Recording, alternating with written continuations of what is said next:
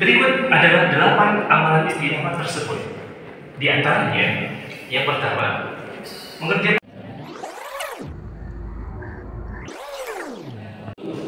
Maka ibadah yang paling baik sebenarnya ketika di sana itu adalah bukan hanya menyempurnakan ibadahnya sendiri, tapi juga memberi kesempatan kepada orang lain untuk menyempurnakan ibadah ibadahnya. Jadi ibadahnya kita cuma kepleset? Cuma kepleset.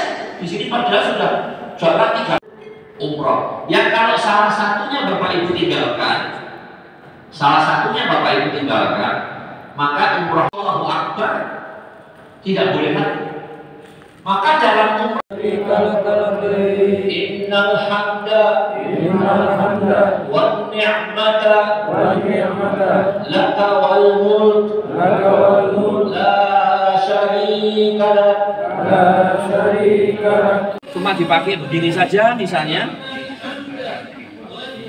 Nanti kalau satu saat jatuh cuma begini saja itu tidak apa Allahumma labbaik.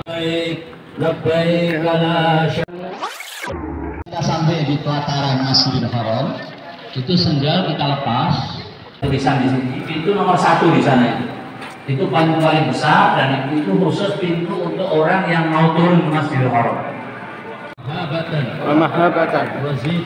Wazid. Man syarafahu. Wa man syarafahu. Wa karamahu. Wa karamahu. Wa azamahu. Wa azamahu. Mimman hajjahu. Mimman hajjahu. Awit tamarahu. Awit tamarahu. Tasrifan. Tasrifan. Wa takriman. Wa takriman. Nah. Ya. Jadi bukan bukan lurusnya ke sana bukan ya. Sunnah yang paling utama begitu. Tapi sulit. Mungkin nggak bisa nyium, tapi hanya bisa apa? Menyentuh. Nah, itu juga sulit. Maka yang paling mungkin dari kejauhan dari tempat kita ilaha illallah Allahu akbar Alhamdulillah wa la ilaha illallah Allahu akbar Allahu akbar kemudian dari sini sampai hasanah wa qina adzabannar Rabbana atina fid dunya hasanah wa fil akhirati hasanah wa qina adzabannar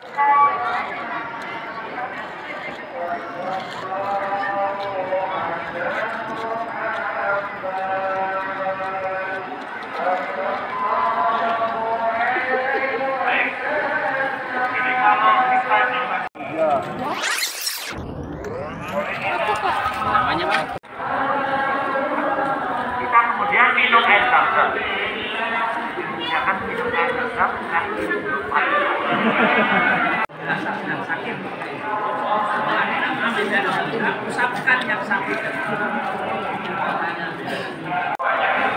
Rabbana Zalamna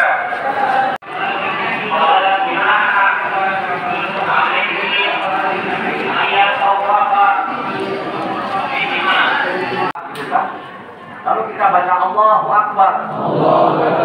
Allahu Akbar. Allahu Akbar. Walillahil hamd. La ilaha illallah. Wahdahu la syarika lah. Lahul mulku. Wa lahul hamdu.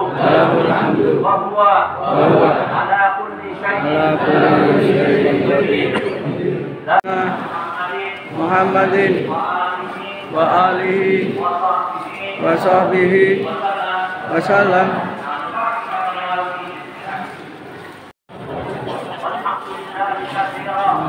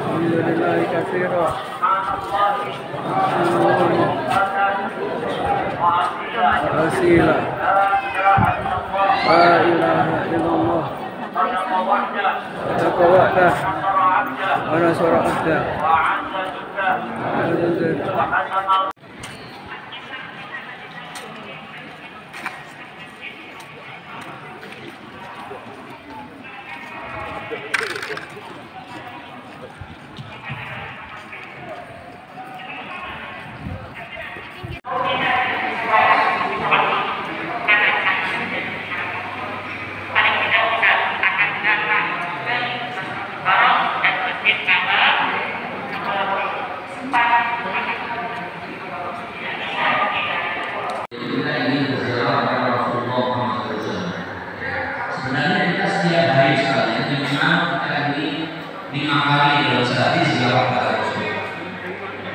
setiap hari ketika sholat With every breath I